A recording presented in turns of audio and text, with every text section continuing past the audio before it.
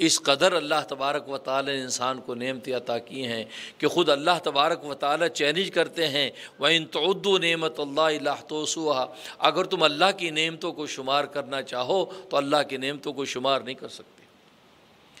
گویا کہ آسمانوں کے ستارے شمار ہو سکتے ہیں، صحراؤں کے ذرے شمار ہو سکتے ہیں، دریاؤں کے پانی کے قطرے شمار ہو سکتے ہیں، قطروں میں دوڑنے والے جراثیم شمار ہو سکتے ہیں، درختوں کے پتے شمار ہو سکتے ہیں۔ کائنات کی ہر چیز احاطہ شمار میں آ سکتی ہے، لیکن جو چیز احاطہ شمار میں نہیں آ سکتی، وہ اللہ تبارک و تعالیٰ کی نعمتیں ہیں۔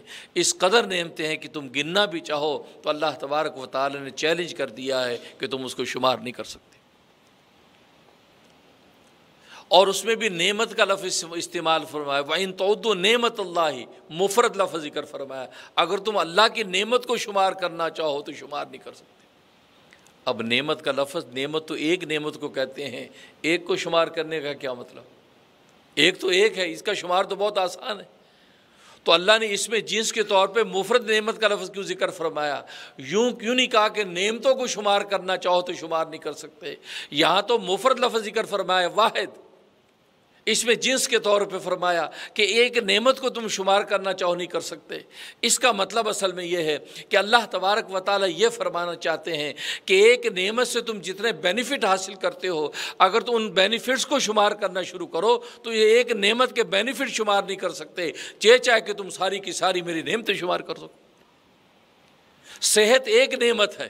اس صحت کے ذریعے سے ہم کیا کیا بینیفٹ حاصل کرتے ہیں، کیا کو منافع حاصل کرتے ہیں۔ اگر اللہ فرماتے ہیں ان منافع کو تم شمار کرنا شروع کرو، تم ایک صحت کے بینیفٹس حاصل شمار نہیں کر سکتے۔